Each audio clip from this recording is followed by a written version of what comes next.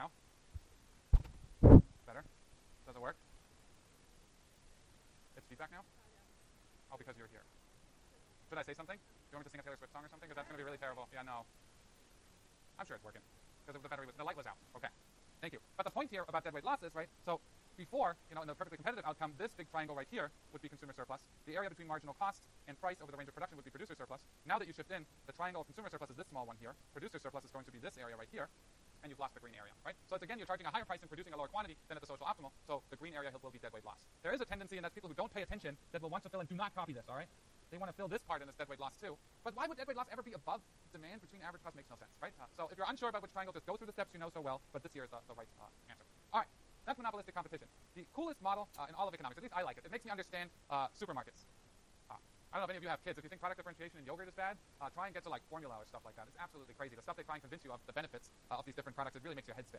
Uh, and then you start reading scientific papers about it and you get really nerdy. Okay, market failure number three. We're going to get through as many market failures as I can in this class. So market failure three is something called non-uniform pricing. It has nothing to do with uniforms, all right? It just means you charge people different prices, right? So, so far, both in the perfectly competitive market as well as the, the monopoly and the monopolistic competition, every consumer pays the same price. It's the price that the firm charges. It's not Max pays $100 and Lars pays 50 and you know Sam pays 20 based on, on characteristics that are either observable or not observable.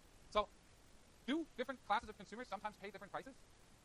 Yeah, student discounts. Do you still get student discounts anywhere? Movie theaters, all right, cheap movies, that's good. Uh, so, you know, based on an observable characteristic, I don't get a discount, right? But you, because you're a student, you get a discount, right? My mom uh, is very proud that she now gets a senior discount when she rides a bus. Uh, so she likes it. She's like, you didn't think I qualified for a senior discount, do you? Uh, so the point here is there's different ways of actually charging different individuals different prices, and I will show you why this is optimal from a firm's perspective and what this means for consumers and what this means from a social welfare point of view.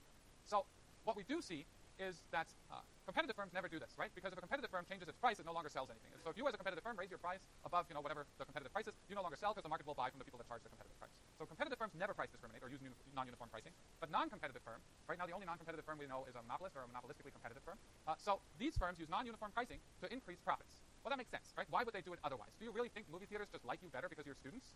No, right? I mean, why would they, right? Firms maximize profits. They're not trying to shovel welfare dollars to students, right? They want to maximize profits. So why would you do this? So let's think about this. If a firm can price discriminate, uh, what it can do is it can charge uh, a higher price to some category of consumers that's willing to pay that price. Does Max go to the movies? Not often, but I did see all seven Fast and Furious movies in the theater. I'm very proud of it, and the ones that were available in IMAX, I saw in IMAX. Uh, not good dialogue, but this time they threw cars out of airplanes. I mean, come on, huh? it was great. So do I really care what they charge me for a movie ticket? You know, within the sort of $25 range, frankly, I don't care. If I have three hours to myself in a movie theater, I'm willing to pay more than that, even. Uh, it's great. Uh, so I'm willing to pay a lot. Who here in this room would be willing to pay $25 to see Fast and Furious 7?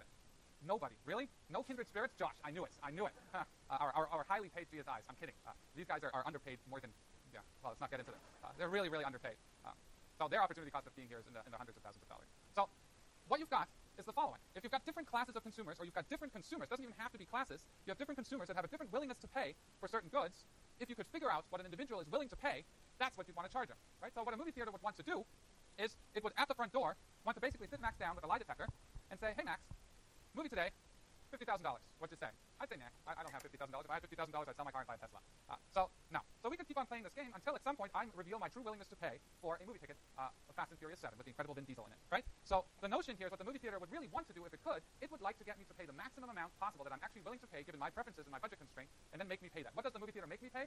I don't know, 15, 20, uh, something between 10 and 15 dollars, right? The price that everybody else who doesn't get a discount gets to pay. Same thing. Think about a bartender, right? Thirsty Max walks in, after I've taught my 28, you know, IS 106 lectures and review sessions and so on, I'm thirsty. So I'm going to walk straight down to Jupiter's. And I'm going to sit down at the bar at 4 in the afternoon, maybe even at 2, and I'm going to have a pint, all right? Uh, so when I sit down there and the bartender, if he would actually be able to figure out what my true willingness to pay is for that first pint, it's near $100 probably, because it'll be a warm day, uh, I'll have worked hard, uh, it's been a good semester, uh, and I need a pint, right? So the bartender would like to be able to charge me $100, but, you know, he'll charge me whatever's in the menu. So price discrimination gets exactly at that. You would like to charge people uh, their willingness to pay, so get this higher amount of revenue from Max, because his willingness to pay is higher than the current price, but what if, instead of charging everybody the same price, you could charge people their willingness to pay, right? So price is currently $10. What is that noise? It's outside? The door itself? That sounds exciting. But let's get back to economics. Uh, so at $10, right, a pint, are we locked in? Okay, there's a trade-off. Welcome to the world of trade-offs. We've spoken about this all semester.